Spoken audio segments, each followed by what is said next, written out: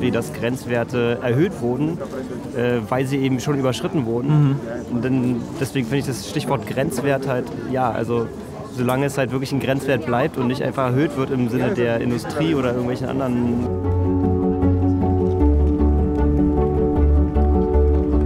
Nein, das ist nicht richtig. Die Industrie und die Netzbetreiber müssen sich an die rechtlichen Vorgaben halten. Die sind seit mehr als 20 Jahren weitgehend unverändert, weil auch neue wissenschaftliche Studien kein Risiko bei Einhaltung der Grenzwerte nachweisen konnten.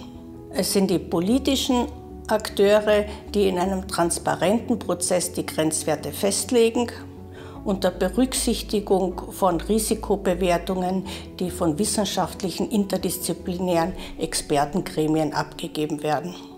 Geändert werden die Grenzwerte dann, wenn es der wissenschaftliche Kenntnisstand erforderlich macht, also es neue Erkenntnisse zu möglichen Wirkungen unterhalb der Grenzwerte geben würde.